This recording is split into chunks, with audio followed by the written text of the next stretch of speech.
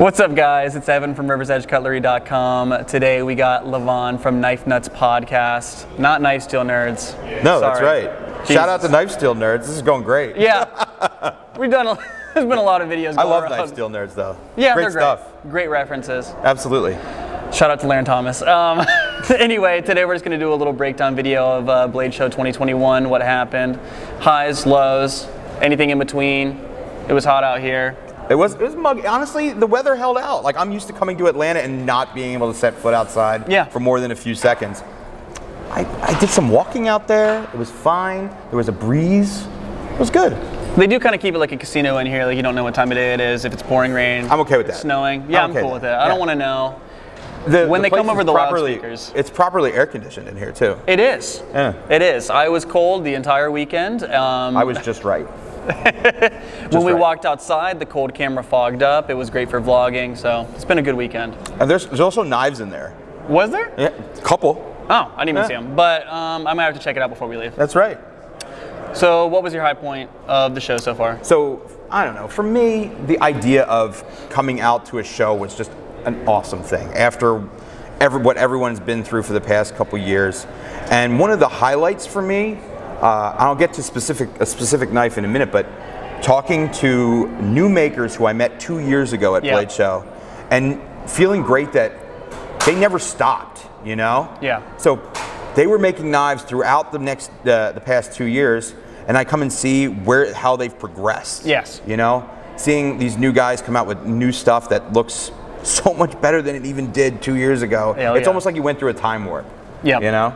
So that that was a great feeling. The other thing for me um, was I had one knife that I wanted to get while I was here. Aside from you know uh, certain exclusives that are dropping at a certain dealer, you know. Yeah, whatever. But uh, for me, uh, if you guys are familiar with Grant and Gavin Hawk, specifically Gavin Hawk of Hawk yeah. Knives, uh, and their deadlock model, the the infamous OTF with no blade play, they released the third variation, the third version of this knife called the Model C, and I was able to get one of the prototypes uh, at 10 o'clock. I had to line up. You know, I was in here with, at the Sharp by Design booth.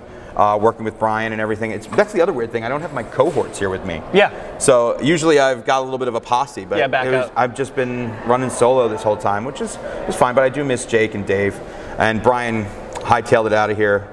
He's already Uh, gone. He's already gone. He I don't blame me. him. He left me. I don't blame him either. Sunday tapers down. That's but true. Uh, but uh, I was able to get one of those knives, the uh, the Deadlock Model C. That's huge. amazing. It's actually in my pocket. Do you want to see it? Absolutely, I would Yeah. love to see it. Here you go. It comes in a little bag. You know, when a knife comes in a little like velour bag, Yep. that's when you know it's quality. Yeah.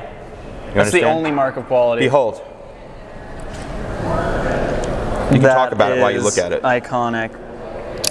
It is oh, honestly the best OTF on the market. that is really, really nice. Carbon fiber inlay. That is and amazing. that's 7075 aluminum. So you know that's it's a material that doesn't get talked about enough.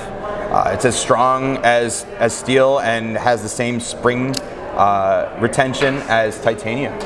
So really, really good stuff uh, for everything. This is kind of like a no holds barred Yes, OTF. as good as an OTF can get, in my opinion. that is amazing. But that's my favorite pickup from this Yes. from this whole thing. I love seeing my friends at you know Rivers Edge Cutlery. You guys literally brought the whole store with you. yeah, we did. It was uh, yeah, it's a pain in the ass, but it's Amazing. Yep. You, there was a giant avocado running around. Somebody came up to me and was saying, "Holy guacamole!" I was like, "This is a knife show, dude. What are you Yeah. doing?" It actually made turned out to be really good. So the guys you were talking about, um, seeing a couple years ago, and then watching them evolve, Mm-hmm. grow as knife makers. Who are you referencing there? Uh, one, the one that stands out in my mind is uh, American Blade Works. Oh yeah. uh, Michael Martin. Uh, you know, that is someone that is passionate about about knives, and you know, sure they may do it to, for some income, but you can tell it's from a love of of of the industry. You Yes. know, and one of the things that he does is like a, a constant quality uh, improvement on his Model One knife, and this is we're currently in the sixth generation Okay. of those and it's night and day after seeing the first one, which was already a good knife, especially for what he charged for it. yeah. And seeing where he is with this sixth gen, it is fantastic. Absolutely. Yeah, so you guys got to check those out too? Yeah, absolutely. I, um, Mike actually bought one Mm-hmm. a little while ago, which is a testament because he's never buying himself anything. Right. So I know that's going to be something that's kind of up and coming. They're an awesome brand. Tactical Everyday Dad, Anthony Jackson over there. He picks one up. I got to see that one. It was kind of a Jade G10 Yeah. satin, or uh, not a satin. I like an aspen personally got the blade. marble carbon fiber, but Yeah, I know, but but you- there was the micarta, the Yeah. JG. All, you couldn't go wrong. Like Yes. they, they all look great.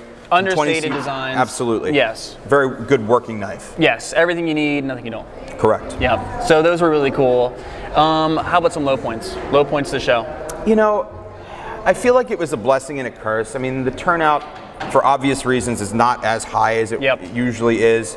And it's a little disheartening to see, but the fact that it's as big as it is Yeah. still gave me hope for what's happening, you know? And the other thing, I'm, I, I don't like to talk too much about the low points, so another high point is you see the growth in the industry and the type Sure. of people that are coming in and enjoying knives. It, it's become something that really is all inclusive and, and everybody can enjoy. Yep. So I, that's something that I've, I've noticed quite a bit.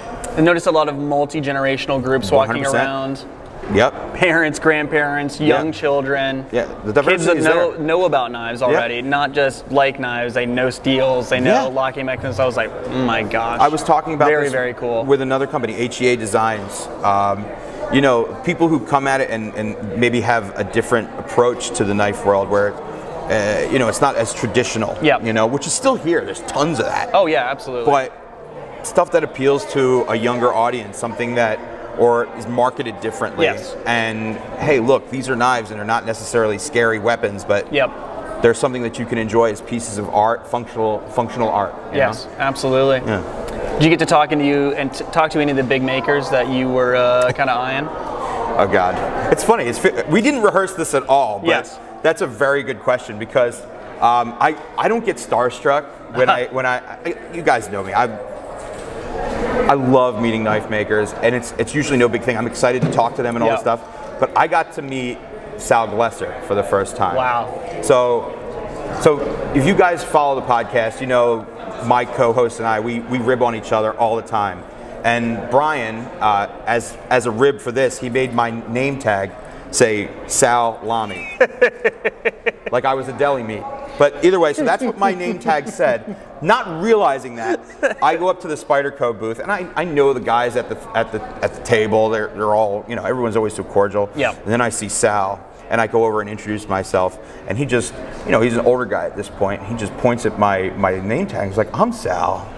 And we're both, so he thinks we both share a name, and it starts going on to this whole Oh, thing. no. And I'm like, oh, this is this is terrible. I have to explain to him that I'm not Salami. I'm, I'm Levon. It's, it's nice to meet you, but you know, it was it was an awkward moment that turned into a, a very memorable one. Did he still think it was funny? Oh my God, absolutely, absolutely. He started telling me stories about nicknames that he used to come up for with different for his friends and stuff like that. You can't, you you can't get that anywhere, folks. That was, this, Only a Blade Show. That was a Blade Show magic yeah, right there. Yeah, absolutely. yeah. So did you see that when we were running around with the avocado the first time? Mm-hmm. Eric Glesser came out. We got him to say "Holy guacamole." Oh He's got a token now. Yes. So That's oh, that's great. I Yeah. know he's already got an REC shaman, but now at least has the token to go along That's with it. That's awesome. Yeah, they're great people. They are. Yes. They are. Yeah, I had a I had the opportunity to talk to um, Dave from ProTech. Another good dude. Incredible guy. Absolutely. Super nice. Great showing. Yeah. Yeah, absolutely. You see that runt five? Yes. Amazing little knife. Yes, and all of the runts that they released here had that Mikey hand grind, Mm. hand polish. So that's absolutely incredible. Gorgeous. But it was just really nice for them to give us the time of the day. Absolutely. Because they're obviously busy guys. Got a lot Um, going on, for sure. Oh my gosh. Andrew Demko, same way. Great stuff. That's a, that's a, that's definitely a highlight from this show. Absolutely. 100%. Absolutely. That, that uh, AD 20.5 Yep. for the money. I don't know if there's anything that really competes with it right now. No, and it's it's really nice to have something else in the store. So if someone's looking for something around 150 bucks, Yeah. Para three lightweight, And bug it's out, unique, and you now we have 20.5s to hand Yeah. people, which is really cool. I like both blade shapes too. Normally, there's always one that I, uh, you know, gravitate, Gravitate, towards, yeah. but really, really great offering. well, you can have both for the same prices of all the other knives that are. Uh, not as cool as- you, I bought both. Yeah. Yeah. As you should. As you should. Everyone should try one of those. Yes. It is paradigm shifting for a knife guy. Definitely. Yes. And, especially now, like we talked about, a lot of new newcomers coming in. Yep. Fantastic way to start out.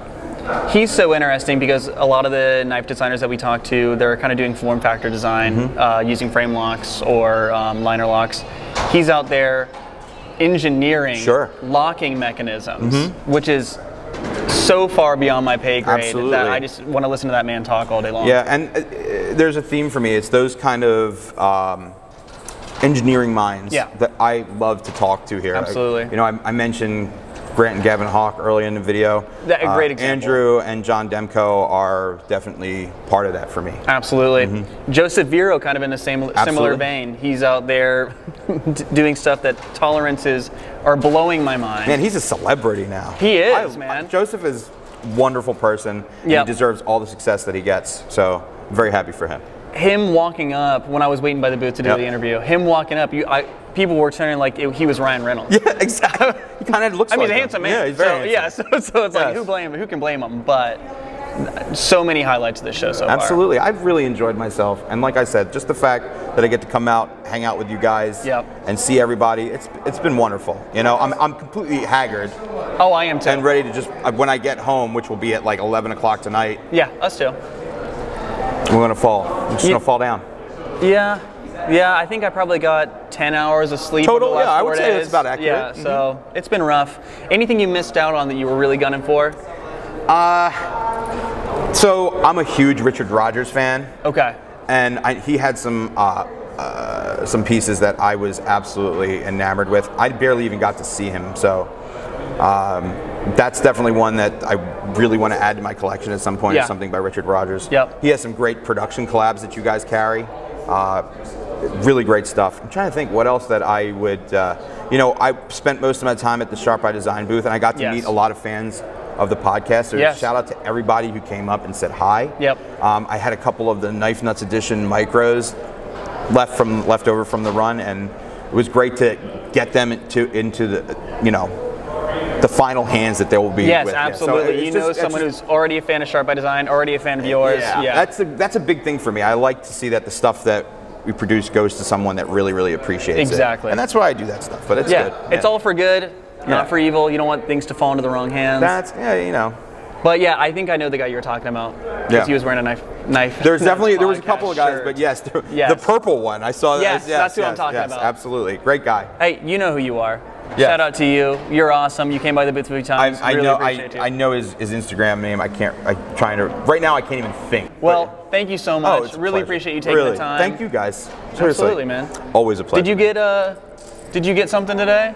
I did. Uh do you have it on you? It's actually over there, but Okay. um, I I did get my uh, my avocado uh, shaman. Is that what I'm supposed to talk about? Fantastic. Yeah. No, we're I not got, promoting it. I No, just want- I just wanted to didn't know if I, we were about- releasing. I didn't know if it was released yet or whatever. We can talk about it. But you can cut that part out, right? Yeah. Oh yeah. Snip this whole thing out. But I got my, my, my avocado shaman. I love it. It's amazing. yes. Cut this whole Cut, thing out. cut that whole thing out. So Yeah. thank you so much. Are you kidding me, Pleasure man? meeting you. Seriously, we're gonna pleasure. we're gonna have to be on the show sometime. Yeah, well, well, I'm starting to do a lot more stuff. You guys are always welcome. Fantastic. Yeah. All right, guys. Thank you so much. We'll talk to you guys in the next video.